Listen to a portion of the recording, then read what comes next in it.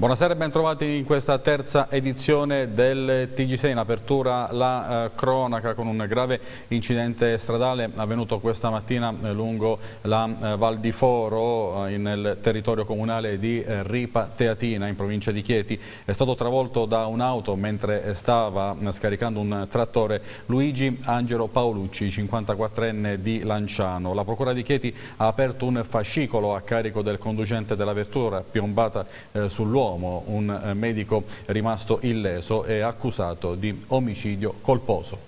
Aveva appena finito di scaricare un trattore di fronte all'azienda Fini Macchine Agricole lungo la Val di Foro nel territorio di Ripatiatina. Le rampe erano ancora abbassate quando sulla bisarca è piombata una Alfa Romeo Giulietta che prima è salita con la ruota anteriore destra sulla rampa esterna del mezzo pesante, poi si è messa di taglio travolgendo il dipendente della ditta che era nei pressi del camion Luigi Angelo Paolucci, 54enne di Lanciano, ed infine ha terminato la sua corsa ribaltandosi sul ciglio della carreggiata opposta. Questa la dinamica del grave incidente avvenuto poco prima di mezzogiorno. È rimasto illeso invece il conducente della vettura, un medico ospedaliero 56enne, così come il collega della vittima che stava aiutando nelle operazioni di scarico del mezzo agricolo. Entrambi sono in stato di shock. Mentre per Paolucci non c'è stato nulla da fare, inutili soccorsi dei sanitari del 118 e dei vigili del fuoco che non hanno potuto far altro che constatare il decesso sul colpo del 54enne frentano. Gli uomini della Polizia Stradale di Chieti sono al lavoro per appurare con certezza la dinamica dell'incidente. Il PM della Procura di Chieti Giuseppe Falasca ha disposto l'esame esterno del corpo della vittima ed ha aperto un fascicolo a carico del conducente della Giulietta con l'ipotesi di omicidio colposo. E da questa mattina un eh, giovane di 28 anni è disperso a largo delle coste teramane. A dare l'allarme è stato l'amico che eh, era con lui al momento dell'immersione eh, e che, non vedendolo più riemergere, ha chiamato i soccorritori.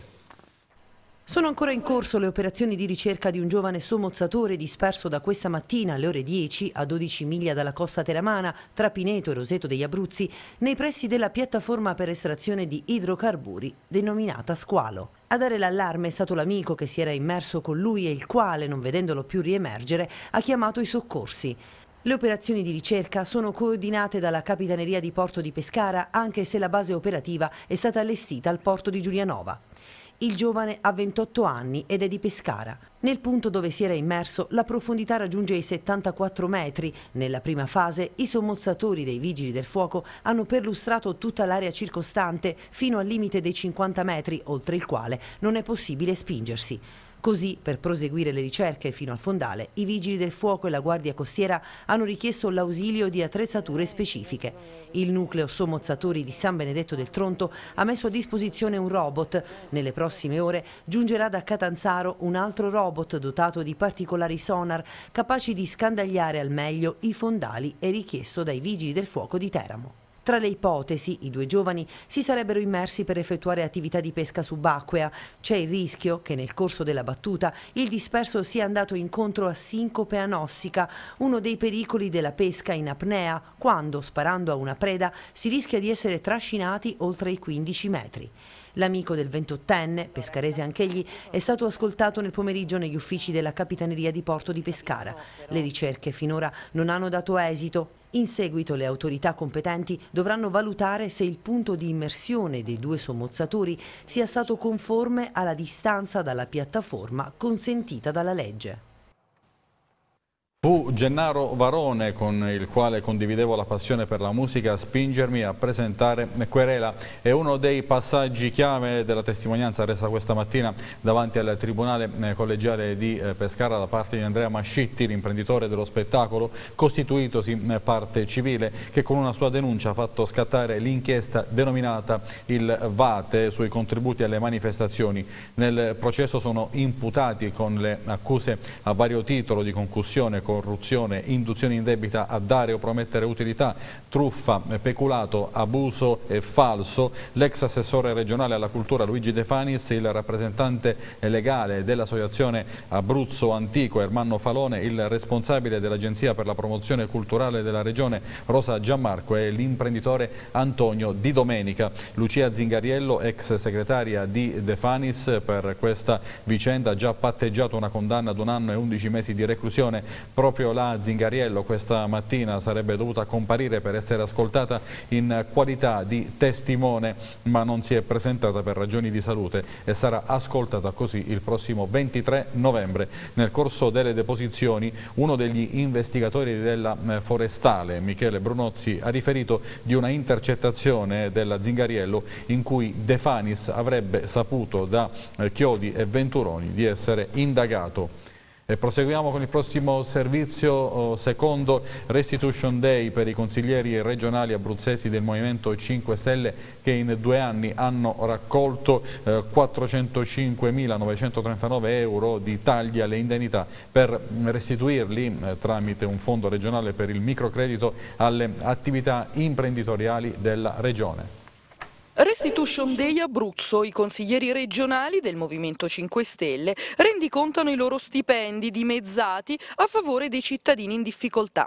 400.000 euro il totale finito nel fondo destinato a sostenere le aziende, 29 quelle che ne hanno beneficiato grazie a Pettinari, Marcozzi, Mercante, Ranieri e Smargiassi. Oltre 400.000 euro restituiti in due anni, 5 consiglieri regionali che senza che ci fosse una legge nazionale, senza che ci fosse una riforma della Costituzione, hanno messo mano al proprio portafoglio e restituito alla collettività 400 mila euro di stipendi. Abbiamo già finanziato col microcredito a 5 Stelle 29 aziende in Abruzzo, quindi abbiamo creato un fondo eh, che finanzia le piccole e medie imprese, 29 aziende sono partite grazie alle restituzioni dei 5 consiglieri regionali, colleghi Mercante, Smargiazzi, Marcozzi, Ranieri e Pettinari, militari, quindi abbiamo fatto una delle più grandi rivoluzioni della storia anche in Abruzzo. E dopo il rendiconto Pettinari rilancia la legge sul dimezzamento degli stipendi di tutti, i politici regionali e anche dei parlamentari. Abbiamo presentato la nostra legge che sta ancora ad impolverirsi all'interno dei cassetti per dimezzare i loro stipendi, quelli degli assessori regionali, dei consiglieri regionali, del Presidente della Regione, purtroppo non è stata approvata, addirittura è stata rinviata in Commissione, come ieri hanno fatto in Parlamento. È stata calendarizzata la nostra legge per il dimezzamento di tutti i parlamentari e lo hanno ributtata in Commissione. Questa è una grande vergogna.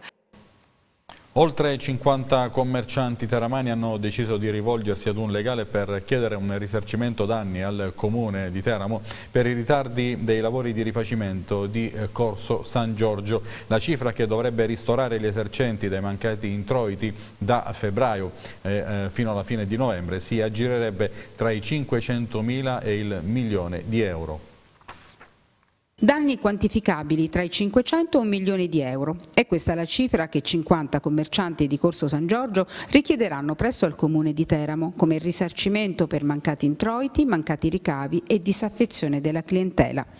Gli esercenti teramani puntano il dito contro gli ingiustificati ritardi dei lavori di rifacimento del Corso Nuovo che sono rimasti bloccati per più di cinque mesi a causa di un ritrovamento archeologico rimosso la scorsa settimana in una sola giornata. Antonio Topitti, portavoce dei commercianti di Corso San Giorgio, annuncia di aver dato mandato all'avvocato Gianni Fragassi al fine di stabilire con precisione scientifica il danno subito da ognuna delle attività commerciali da febbraio ad oggi e di chiedere il conseguente ristoro all'amministrazione comunale, ente appaltante dell'intero progetto. Intanto i lavori, fermi da cinque mesi, sono ripresi spediti dopo che la soprintendenza regionale ha dato il suo nulla osta a rimuovere porzioni di un antico acquedotto romano affiorato nel momento dello scavo davanti alla banca Tercas. Secondo il nuovo cronoprogramma del Comune, il massetto fino a Piazza Garibaldi dovrebbe essere completato entro la fine di novembre ed anche le transenne dovrebbero sparire per permettere lo shopping natalizio. Mancherebbe poi la pavimentazione, sbagliata di colore in un primo primo momento. Quella giusta è in arrivo dalla Cina, che si spera si avvicina. Questa mattina gli studenti dell'Istituto Moretti di Roseto degli Abruzzi hanno scioperato contestando la decisione del um, dirigente scolastico sulla vicenda delle otto classi chiuse per pavimenti non idonei.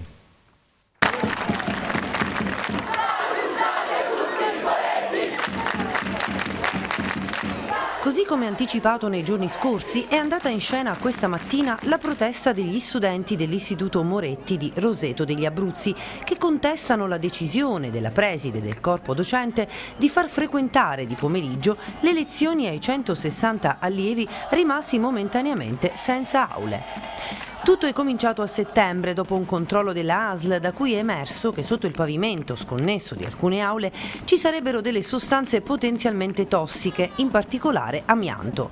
Anche se, come spiegato dalla preside, i rischi sono quasi pari a zero in quanto sarebbe impossibile che le fibre contenute nelle mattonelle possano disperdersi nell'aria, la ASL ha imposto alla provincia, da cui dipende il Moretti, di rimuovere i pavimenti deteriorati secondo protocolli ben precisi e nella massima sicurezza. Il problema riguarda otto aule che saranno chiuse per le prossime quattro settimane. La scuola ha quindi scelto la strada dei turni pomeridiani, ma gli studenti non sono d'accordo. Ci aspettiamo la risposta di trovare un'altra sede dove queste otto classi che saranno occupate eh, dai lavori eh, eh, possano andare a fare lezione la mattina come è giusto come tutti gli altri studenti Rientrare di pomeriggio per gli studenti significherebbe dover abbandonare impegni pianificati da tempo. Molti ragazzi infatti di pomeriggio lavorano, altri sono impegnati in attività sportive, altri ancora, quelli dell'ultimo anno,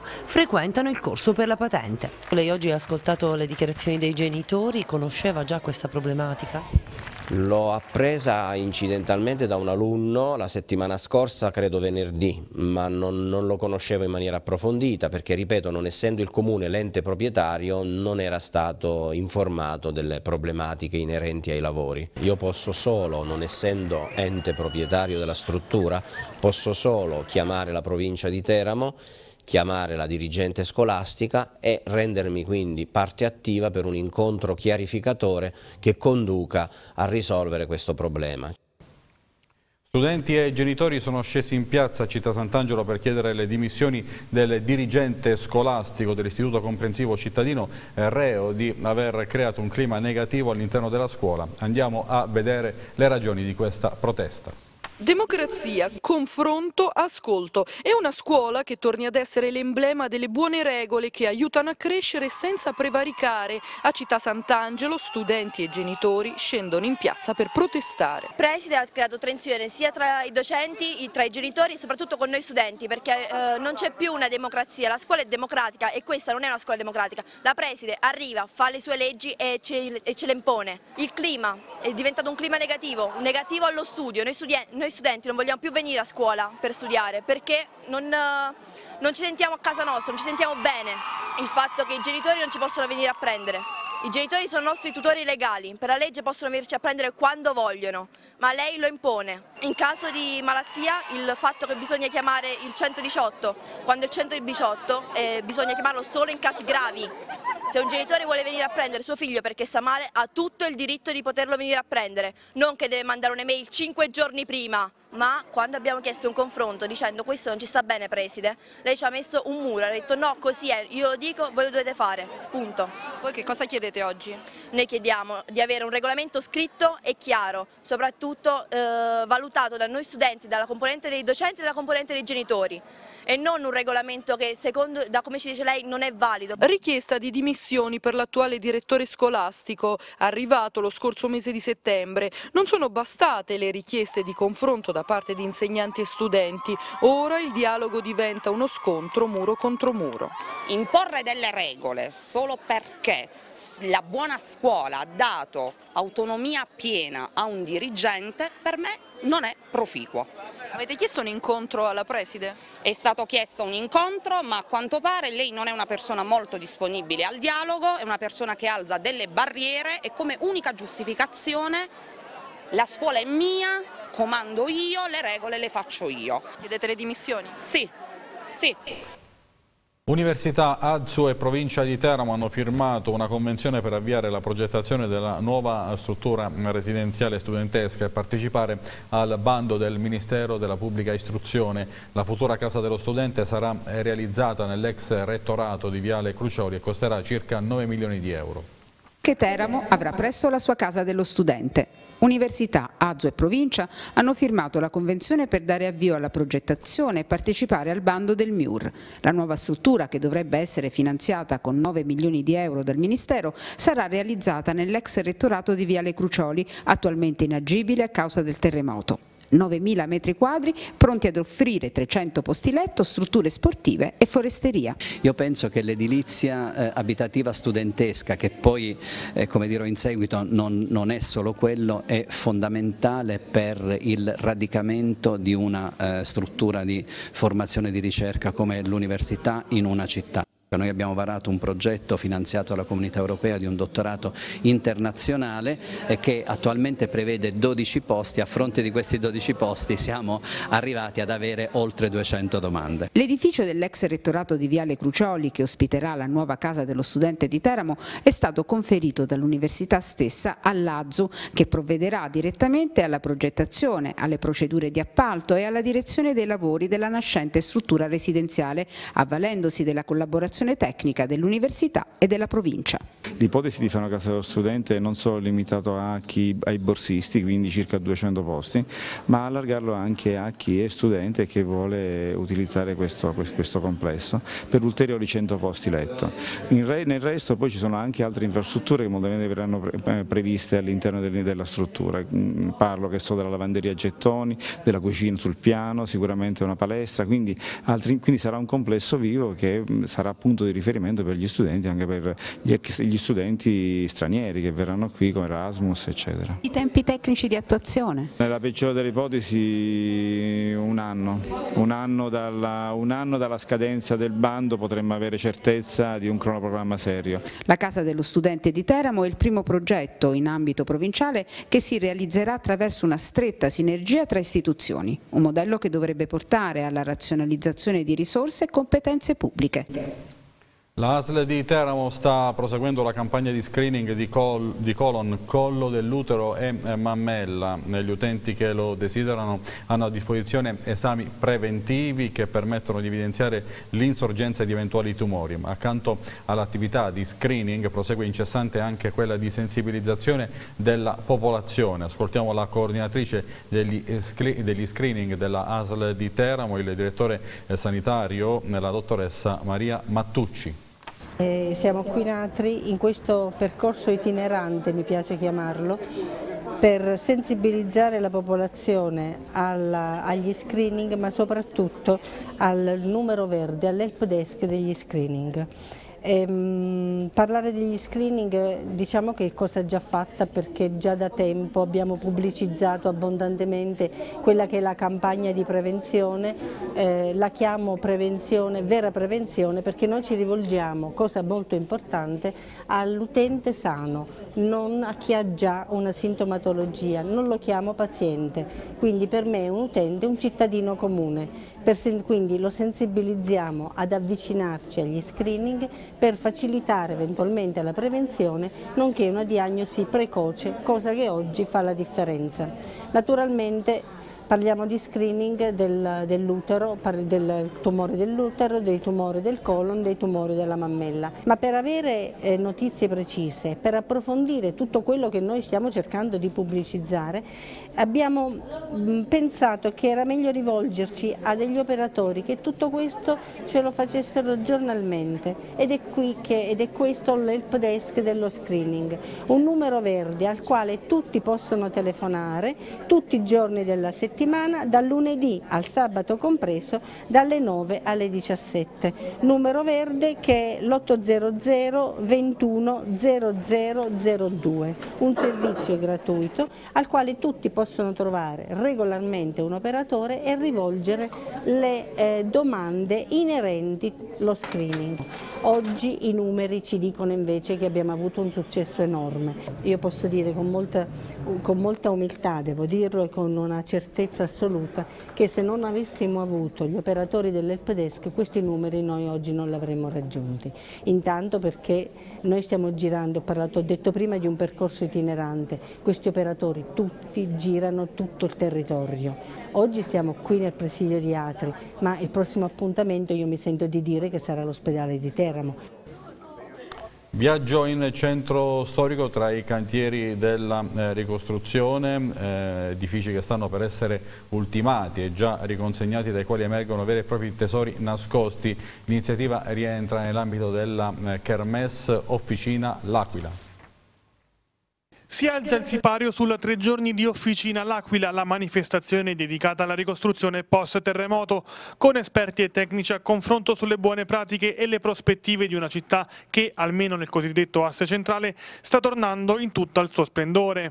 Primo giorno dedicato alle visite nei cantieri di alcuni dei gioielli che a poco a poco vengono restituiti alla collettività tesori nascosti che i lavori di consolidamento e recupero hanno reso ancora più preziosi.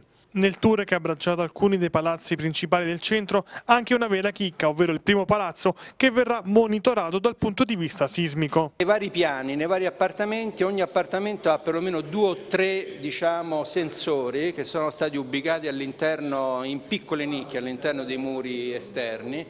Questi sensori adesso verranno collegati da una, da, da una ditta che ha fatto questo video intervento Dopodiché eh, leggeranno questi sensori tutte le eventuali, dire, eh, sì, scosse sismiche che ci auguriamo che non siano più di, di, tante, però che nei prossimi anni verranno. E c'è una centrale, credo, è uno studio eh, che sta in Calabria, se ben ricordo, però mi sfugge adesso il nome, che monitorerà monitorerà nei prossimi anni questo tipo di... ed è una cosa all'avanguardia, credo che all'Aquila Palazzo Mannetti forse è il primo o comunque tra i primi. Palazzo Mannetti, Palazzo dell'Emiciclo, i sottoservizi, Palazzo La Castellina e Palazzo della Carispac, solo alcuni esempi di cantieri in corso e lavori già terminati che daranno l'idea di come sarà la città del futuro. È un po' quello che ho descritto prima, praticamente iniezioni alle murature, rete di basalto e betoncino, eh, controventature, eh, irrigidimenti metallici e congelamento della struttura d'acciaio ehm, galgestruzzo con le reti d'acciaio e, ehm, e resine. Quando sarà riconsegnato questo palazzo alla città? Se tutto va bene fra un anno e mezzo potremmo farcela. Sapete qualcosa già sulla prossima destinazione d'uso? Resterà banca? Avete già qualche notizia? Una parte, una parte dovrebbe restare banca e una parte diventerà commerciale. E adesso apriamo la pagina sportiva e lo facciamo con il turno infrasettimanale di Serie A. È stata una serata assolutamente negativa sotto tutti i punti di vista mm, per il eh, Pescara che ha collezionato un'altra sconfitta a domicilio sanguinosa contro l'Atalanta. Ma vediamo eh, il quadro eh, intero della giornata. Questi i risultati del decimo turno.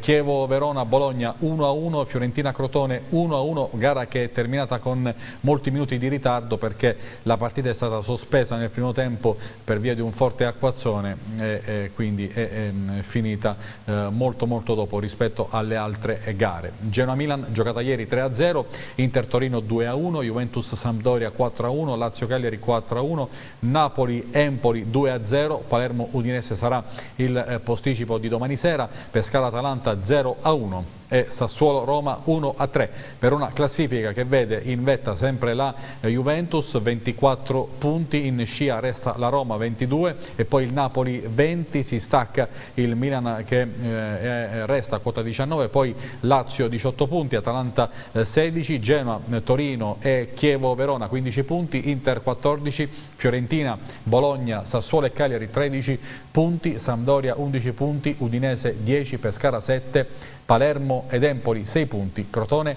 2 punti. Questa dunque è la eh, classifica e adesso andiamo a vedere eh, gli highlights della partita eh, giocata eh, questa sera alle 20.45 tra Pescara e Atalanta e risolta dal gol di eh, Caldara.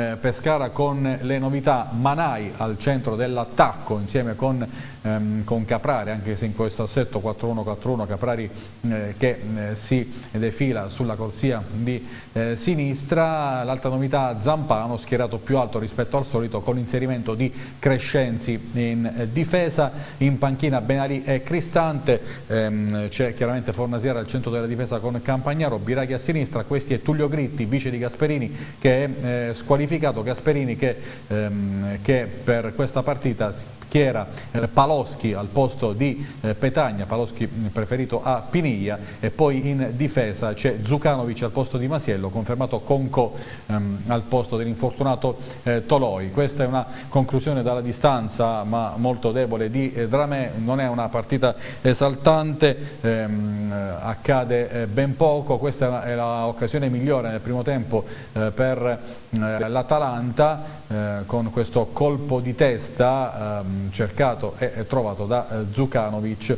Poi sempre nel primo tempo questo cross basso che viene liberato dalla difesa del Pescara, vedete di mm, clamorose palle gol non se ne registrano almeno fino a quando non ci sarà ehm, dopo la scossa di terremoto delle 21.18 eccola qui la scossa di terremoto che viene avvertita sugli spalti, i giocatori non se ne rendono conto ma capiscono che qualcosa sta accadendo dal movimento delle eh, persone. La partita sarà interrotta da guida di Torre Annunziata per un paio di minuti minuti, ecco qui la gente che si alza in eh, piedi, c'è eh, paura, in tanti chiamano i propri familiari per eh, sapere come vanno le cose, vedete l'arbitro guida dopo due minuti eh, dà l'ok per il ripristino delle ostilità, eh, come ci hanno confermato i protagonisti in campo la scossa non si è eh, avvertita. Eh, la ripresa delle ostilità ancora Atalanta, accade ben poco ma quel poco è tutto di marca eh, orobica. Con questo colpo di testa ehm, centrato ehm, da Caldara e la palla si stampa contro la traversa ma Caldara avrà modo di ehm, rifarsi e disegnare gol partita nella ripresa. E siamo effettivamente nella ripresa, questi è Massimodo, un Pescara decisamente al di sotto delle attese, decisamente al di sotto anche della prestazione ad esempio di Udine di domenica scorsa, qui c'è uno spunto e una conclusione in girata di Manai, la palla che però sorvola la eh, traversa, una delle poche azioni del mh, mm, Pescara e poi qui dovremmo essere al gol eh, partita segnato al quarto d'ora della ripresa da eh, Caldara, giocatore lo scorso anno eh, al Cesena in prestito, aveva già evidenziato il vizietto del gol che evidentemente non ha perso. Questo è il suo primo gol in Serie A per il giovane difensore Caldara, ehm, non riesce sulla linea a eh, respingere eh, Biraghi.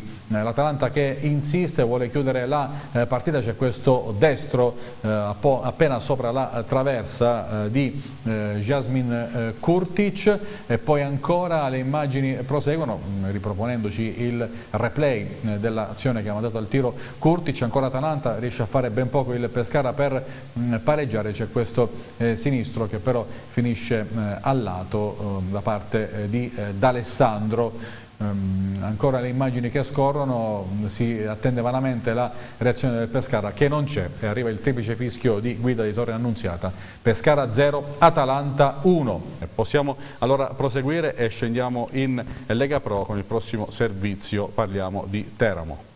Un ulteriore messaggio è stato lanciato dai tifosi del Teramo che ieri hanno esposto uno striscione diretto ai calciatori. Il discorso è che gli alibi sono finiti e che bisogna giocare mostrando gli attributi. Questo chiedono i tifosi, questo chiederà ai suoi calciatori anche il tecnico Federico Nofri. Quel che fa specie è che l'allenatore Umbro, che fa del carattere della tempra uno dei propri marchi di fabbrica, faccia difficoltà a inculcare questi diktat come la gara con l'Albino Leffe ha confermato, in particolare nel secondo tempo.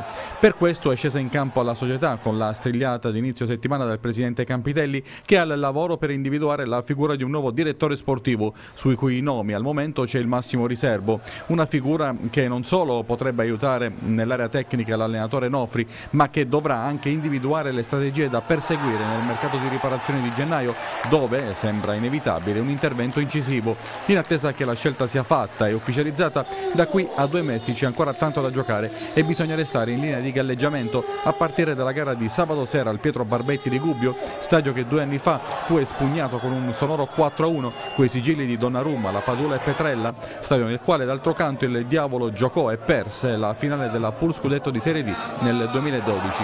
Il prossimo avversario, il Gubbio di Beppe Maggi, neopromosso dopo un anno di purgatorio in D, è una delle principali sorprese del girone, terzo a due punti dal duo di vetta Venezia-Bassano. Curiosamente però in casa ha perso tre partite a di due vittorie. La differenza gli agubini l'hanno fatta in trasferta dove hanno centrato 13 dei 15 punti in palio. Definita la direzione di gara affidata a Dapice di Arezzo. Noi andiamo a eh, chiudere il nostro eh, telegiornale con un ultimo servizio parlando di ciclismo. Assessore Paolucci, il Giro d'Italia torna in Abruzzo, torna eh, sulla Maiella, tanti bei ricordi, ma una cartolina importante per la nostra regione, un privilegio tornare ad ospitare la Corsa Rosa.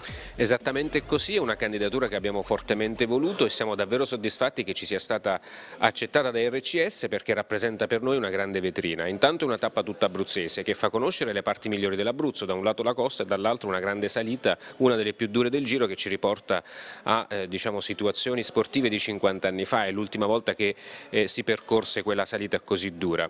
È definita tra tutte tra una delle tappe più impegnative e per quanto ci riguarda, oltre a tutto questo, c'è un grande momento di promozione del nostro territorio, perché poi sappiamo che la carovana del Giro è connessa a tanti altri aspetti e che rappresentano una leva diciamo, promozionale e turistica e per cui è un grande appuntamento che la Regione ha fortemente voluto nell'occasione del centesimo Giro d'Italia. Quanto è stato difficile strappare eh, questa tappa alla RCS. Impegnativo quanto la salita del blockhouse. Assessore, e poi non volete fermarvi perché oggi si parla di Giro d'Italia con la tappa abruzzese, ma c'è anche eh, un'altra importante notizia. Lanciamo anche la candidatura della Regione Abruzzo a ospitare il campionato italiano ciclismo su linea nell'occasione del trofeo Matteotti, un'altra grande e importante candidatura. Abbiamo avuto l'occasione di poterlo ospitare per tre volte nella nostra storia, ci candidiamo per una quarta volta e vediamo di comporre un'occasione, quella del 2017, unica per la nostra regione di essere ricordato certamente dal punto di vista sportivo come anno del ciclismo. È tutto per questa terza edizione del TG6 che torna eh, domani eh, con l'edizione delle ore eh, 14. Grazie per l'attenzione e buonanotte.